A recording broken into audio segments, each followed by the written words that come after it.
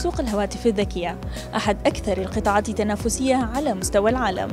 وبحضور عمالقة كأبل وسامسونج وهواوي استطاعت HTC في 2018 من تحقيق إرباح للمرة الأولى منذ سنوات. فيما يعزى ذلك غالبا لصفقة المليار دولار الشهيرة التي استحوذت بها جوجل على جزء من الشركة.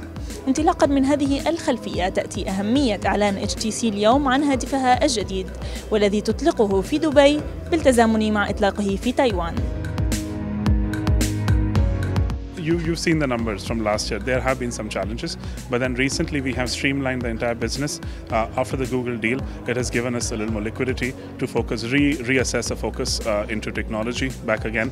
Uh, there are quite a few investments happening, uh, as you can see, uh, with making one of the best smartphones.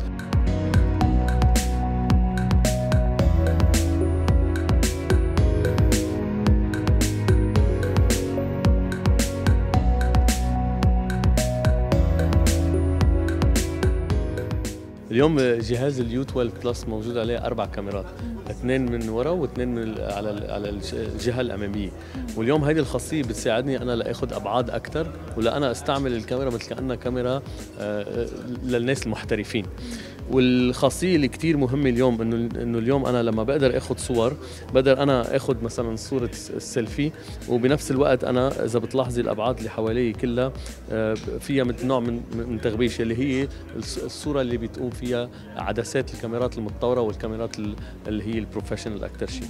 وطورنا كمان آه، خاصية الفيديو يعني نحن لما نحن بنغوص بتفاصيل الفيديو مش بس نحن بنعمل zoom على الصورة نحن بنعمل zoom على الصوت كمان. so بتلاحظي لما أنت بتقربي على آه، عندك جزء فيه صوت معين أو حدا عم بيغني أو حدا عم بيحكي بقدر أنا أسمع الصوت بشكل أكثر شوف تفاصيل أعلى من ما كنت إنه أنا بس عم بعمل zoom على الصورة اليوم نحن عندنا خاصية العصر أو ال squeeze بالإنجليزي يلي من خلاله نحن الأطراف اللي موجودة على الجهاز ممكن نعصرها وممكن يقوم الجهاز يقوم بعملية. مثل ما شفتي هون ممكن نقدر نخلي الضوء آه، يضوي معنا.